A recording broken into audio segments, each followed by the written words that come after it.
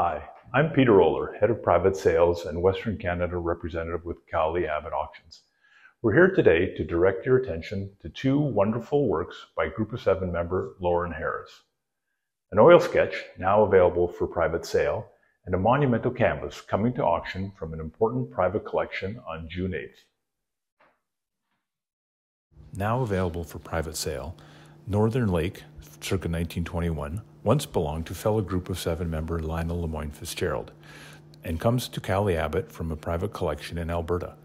This fine panel was the first sketch painted by Harris, which eventually led to Harris's major canvas, Quiet Lake. Lawren Harris first painted on Lake Superior in the fall of 1921. The location of Quiet Lake is identified by a sketch of the same location titled Above Coldwell Bay, North Shore, Lake Superior. Quiet Lake has extensive exhibition and illustration history.